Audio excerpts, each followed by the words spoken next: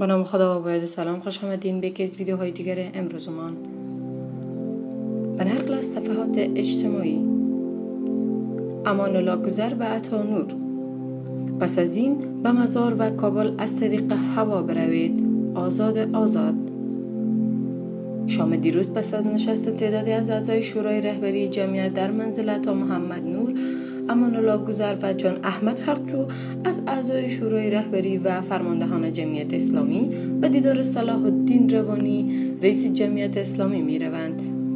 آقای گذر با عصبانیت به می گوید که عطا در پی چیست و اجازه بدهید با او موضوع را روشن کنیم. آقای روانی امان الله گذر و حقجو را به آرامش فرا می خواند و می گوید که اگر استاد عطا فکر به برنامه و به جمعیت دارد. به خواستار برگزاری کنگره هستند. بفرمایند جمعیت اسلامی دفتر دارد و همه روی آن صحبت خواهیم کرد و تاکید می کند که در افتتاح دفتر برای برگزاری کنگره حزب فراخوان دادم.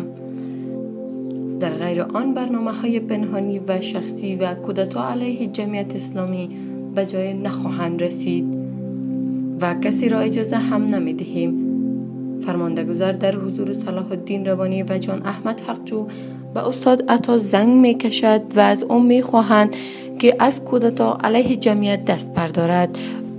و اگر برنامه برای جمعیت دارد جمعیت اسلامی افغانستان رئیس و دفتر دارد. اما صحبت میانشان در تلفن تان می شود و گذر به استاد عطا می گوید در صورت ادامه چنین حرکت مگر پس از این به مزار و کابل از طریق هوا بروید و بدون خداحافظی تلفن را قطع می کند.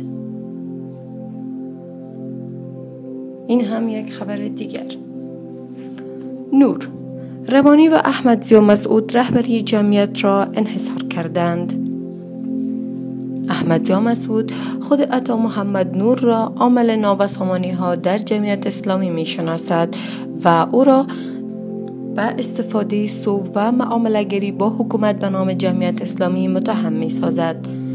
در اوج اختلاف ها میان شماره از رهبران حزب جمعیت اسلامی عطا محمد نور صلاح الدین ربانی و احمد مسعود را به انحصارگرایی دراز مدت در رهبری این حزب متهم می سازد. آقای نور در گفتگو با تلو نیوز ادعا دارد که از مدتها پیش میان شماره از رهبران جمعیت اختلافات وجود داشتند گفتند که در آن جلسه ای که قانونی صاحب باشد من نمی روم در آن جلسه ای که دکتر صاحب عبدالله باشد من نمی روم در آن جلسه ای که فلانی باشد من نمی روم در آن جلسه ای که واقف حکیمی از جمعیتی های اصیل سخنگوی جمعیت باشد من نمی روم و کدام جلسه می روی جلسه ای که خودش ازایش را خوانده باشد و مچم که کیها هستند آنان و کی باید بوده باشند. او در این باره می افزاید دیده شد که ربانی صاحب نمی خواهد کنگره دایر شود و می خواهد که این ریاست را در قبضه خود داشته باشد. به هر عنوانی که می شود شما ببینید این گپ ساده نیست. دو ماه سرپرست و نو سال ریاست. نور اوضاع کنونی جمعیت اسلامی را بسیار آشفته نامنظم و غیر سازمان یافته می داند و تصمیم اخیر شماره از سران جمعیت را درباره کنار گذاشتن صلاح الدین ربانی برخواسته از همین وضع می‌گوید. اگر جمعیت در همین بازی تحولات کشور شریک نبوده باشد واضح است که جمعیت می رود به طرف انزوا که ما خدا نخواسته وضعیت بد جمعیت را نظارگر بوده باشیم و که این را ما نمی خواهیم احمد یا مسعود خود عطا محمد نور را عامل نابسامانی ها در جمعیت اسلامی می شناسد و او را به استفاده سو و معاملگری با حکومت و نام جمعیت اسلامی متهم می سازد. باعث تمام بیکفایتی ها و کمکاری ها خود استاد عطا محمد نور بود.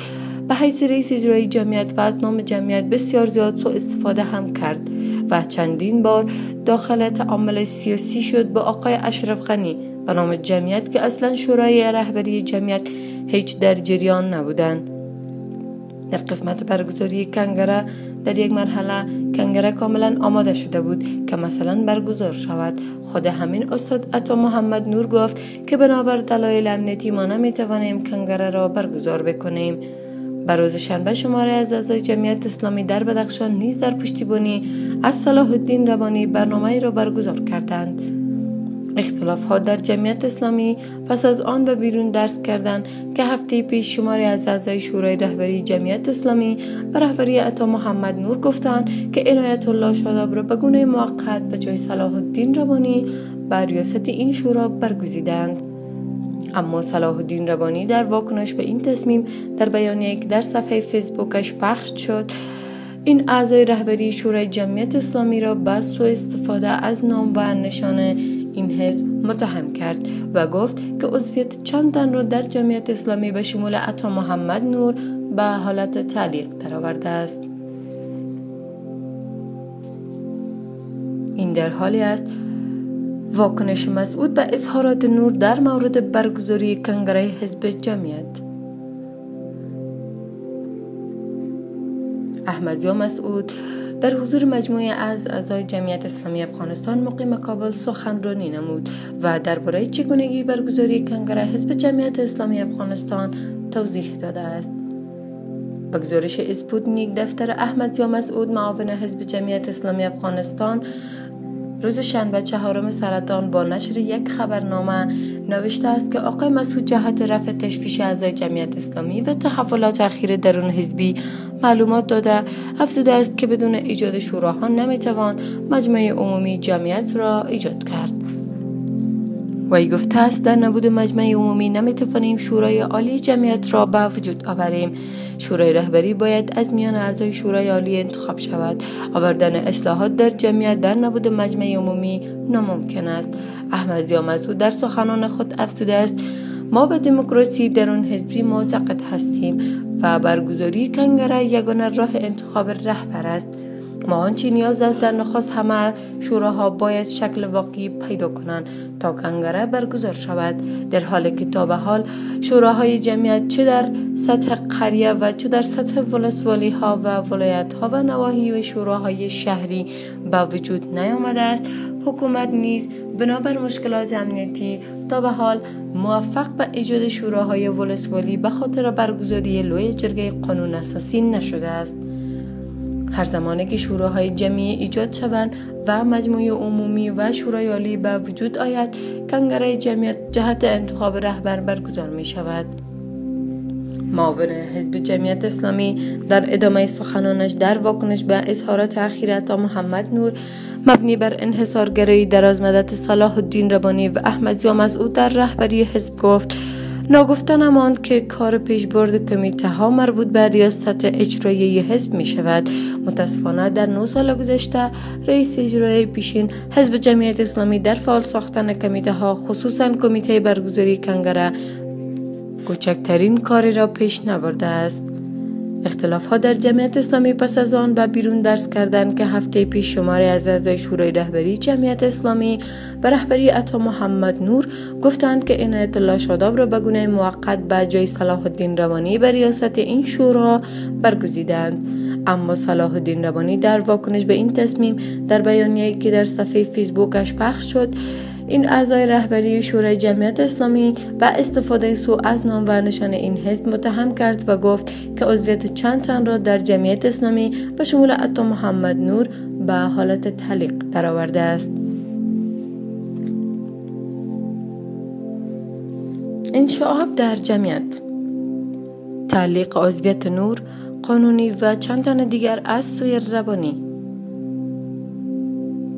پس از آن که صلاح الدین ربانی از سوی عطا محمد نور و دیگر اعضای این حزب از سمتش برکنار شد رئیس حزب جمعیت عضویت عطا محمد نور و برخی دیگری را از حزب به تعلیق درآورد به گزارش اسپوتنیک روز گذشته جلسه شورای رهبری جمعیت اسلامی افغانستان به ریاست عطا محمد نور رئیس شورای اجرایی جمعیت اسلامی به اشتراک بیشتر از دو سوم کل اعضا دایر کرد و درباره مصالحه با طالبان مشارکت در حکومت و بازسازی فعالسازی بیشتر جمعیت اسلامی افغانستان بحث و گفتگو کردند و صلاح الدین ربانی را برکنار کردند و عنایت الله شاداب را به عنوان رهبر موقت برگزیدند تا کنگره این حزب را برگزار کنند.